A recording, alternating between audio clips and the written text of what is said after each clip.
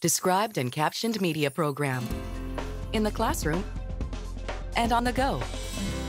DCMP.org.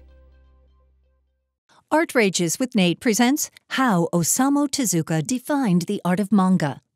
If we are going to start drawing in the style of manga, then you have to know just a little background. Trust me, it will help a lot. Let's go back to the 11th century in Japan when artists were painting on scrolls. One artist, actually artist and priest, named Toba Sojo, started drawing cartoons using animals. And apparently these crazy little animals were representing priests. Pretty funny. Don't get me wrong, there are plenty of other cartoons being created, but this artist's style really stood out since he had such a great sense of humor.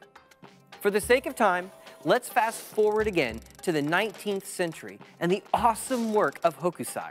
The Described and Captioned Media program provides services designed to benefit students who are blind, visually impaired, deaf, hard of hearing, and deafblind. These services include a library of free loan described and captioned educational media, a clearinghouse of information related to educational media access, a gateway to Internet resources related to accessibility, and a set of guidelines for adding descriptions and captions to media. There are no user registration or service fees. Visit the DCMP at dcmp.org. The DCMP is funded by the U.S. Department of Education and administered by the National Association of the Deaf.